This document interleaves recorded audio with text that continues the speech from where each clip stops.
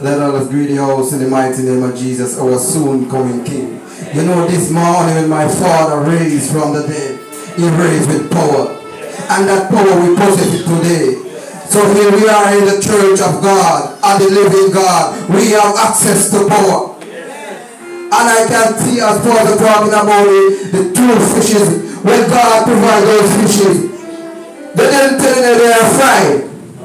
They didn't tell you they were cooked. But I know the fish was for the youth was have, they are ready prepared. So God prepared the fish already to eat.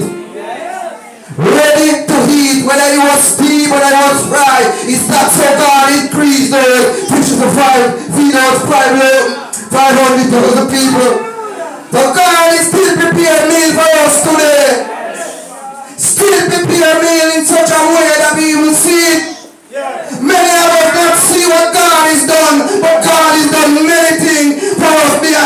Behind. We are not to acknowledge what God is doing us in our life. I acknowledge God as our personal Lord and Savior Jesus Christ.